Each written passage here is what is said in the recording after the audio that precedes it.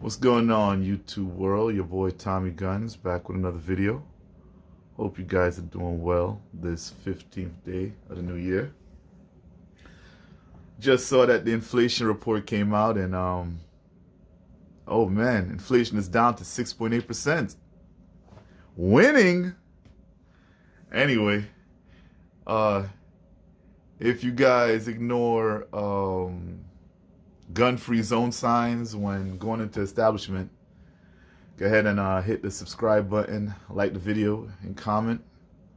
Uh, that helped me out with an algorithm. Let's get into it. Uh, last night went to took my daughter to medieval times. My first time going. Uh, she went before with uh, other family, but you know I w I couldn't uh, wear my hill people gear, chest bag because you know gonna be eating and all this stuff and you know it was just inconvenience. It was just like a, a big hey look at me. So just decided to you know wear uh, Glock 19 you know my on body uh, EDC well let's jump into it. At the belt the belt itself is a blue alpha gear hybrid EDC belt one with the female end is the one inch Cobra buckle so it could slip through your, your pant loops easily. And on that I have this right here is a called a clinch pick from Shivworks. Pretty uh, good piece of kit, good company. And it's just a, a get back. It's kind of like a KA-BAR TDI knife, like a get back knife. So like I said, if you new to the EDC game, it's it would behoove you to get a, a quality belt that's rigid enough to carry the stuff that you're gonna be carrying. Because as you can see, you know, this shit's gonna get heavy. Anyway, let's move from right to left. Always good to carry something to stop the bleed. Carry a cat, a North American cat tourniquet, and that's sitting in a Fieldcraft Survival uh, outside or inside the band tourniquet holder. I'll be getting a a slimmer profile cat hold uh, North American cat holder in the future. But for right now, this this does the job. I, I carry this either appendix alongside my firearm, or if I'm wearing cargo pants, I carry it in a pocket. That's a good piece of kit. Up from there, Suunto Traverse Alpha. Um, real good watch. Had it for shit. Mm, maybe five years. Still, still ticking. Still going strong. Uh, my light source have a Modlite PLH PLH V2. Real good light. Just got this for Christmas. Uh, Skeletool Leatherman Skeletool CX. Real good uh, multi-tool.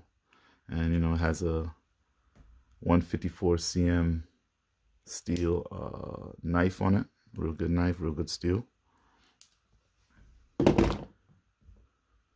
Next to that, have the Kershaw Launch 1. Also, well, CPM 154. Real good knife. In a Tenicor light bearing holster, I have a Glock 19 Gen 3 with a TLR 7 Alpha light. My carry is Gold Dot, Spare Gold Dot uh, plus P, 124 plus P ammo. And my sights are Ameriglow Ameriglow Slight sights with the blacked out rear. Base plate, the aluminum base plate from Midwest Industry. Got that idea from the late uh, James Yeager. Shout out to Tactical Response.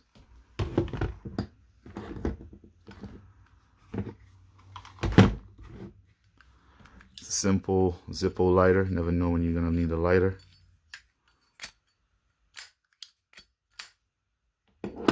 And I got this lighter from No Quarters from, you know, Blackbeard. I got this lighter from Zero Foxtrot uh, company. Um, it's veteran owned and they have a they have some good t-shirts and other stuff. Glock 19 mag, the spear mag, and well Glock 17 mag I should say, pardon, with a Neomag double magnet magazine holder. Real good piece of kit right here. Last but not least, I just got this. It's a pry bar.